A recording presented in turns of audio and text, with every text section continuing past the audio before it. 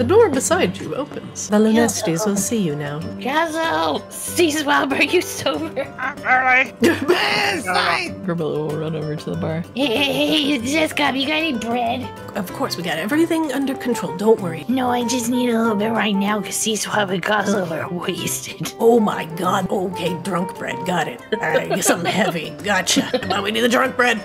Get the drunk bread, Stat! All right, here you go. I got some really dense, thick oat bread. Lots of butter on this. Absorb the alcohol. She'll toss Azrael a golden. just touches Sea Swab and Kozlo in turn. Uh, you both are no longer drunk. You are stone cold sober. The booze just like sweats out of your body excessively. So now you all look a little bit drenched. Maybe I should use this bread to sop up the sweat. Yeah. Grimilla will wipe up the boys as best she can and drop the bread off. I'm so sorry, just throw that away. Did you just use bread as a towel? Yes. More like a sponge. Rebella, Rebella. I'll give you 20 gold to eat that bread. Not Don't, now. don't do it. All right, all right.